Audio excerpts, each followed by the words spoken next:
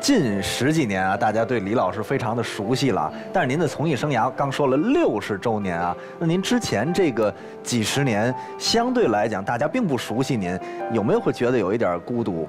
刚演戏的时候，呃，一句词儿都没有，呃，但是只有小演员，没有小角色。嗯所以后来你真正每一个角色都演得特别精彩。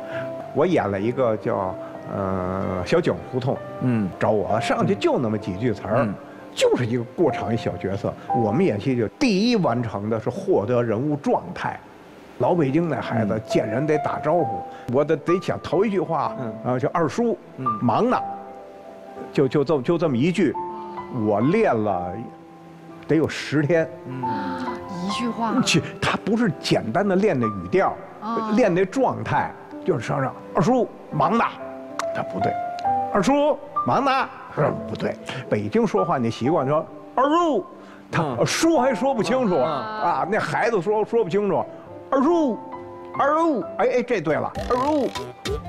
忙呢，哎，我那会儿就一边骑自行车一边往剧院去，要排戏了，完了，一边骑一边二叔，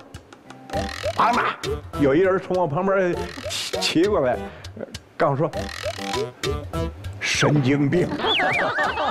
那会儿没有有病这么一说啊，就就就整个就晕进去了。对但当你获得这个人物的感觉以后，是一种极大的快感。我不知道你能不能体验到这种感觉。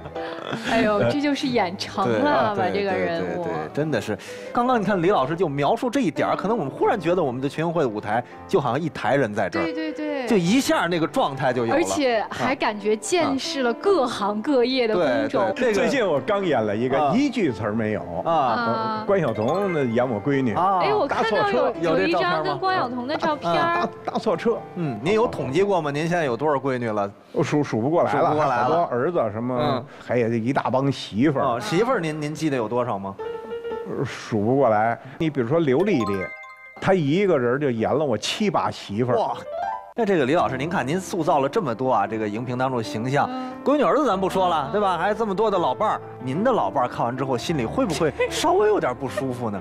我就知道你别没没 有有没好。那个，啊比如李叶萍，我就说演那个王海涛今年四十一，我那里边他就演演我媳妇儿，啊我们俩演特别好。嗯然后说以后不许找别的媳妇儿啊，再找我打死你。啊，有没有李老师家庭的照片？有有李老师啊家庭的照片。嗯，这个是您的啊，全家福，这应该是孩子还小的。这年我清楚，我三十六，嗯。我属狗，儿子也属狗，啊。刚降生。这一张是？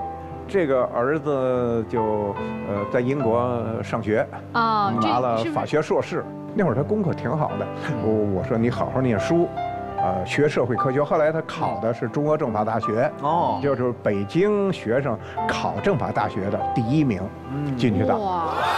哎，您生活当中是哪种爸爸的类型呀？就是跟儿子之间的朋友的，朋友的。我嗯从来就没捅过他一个指头，嗯，恶声恶气都没有。看李老师一聊起儿子太高兴了，对呀对呀能培养出这样一个人才。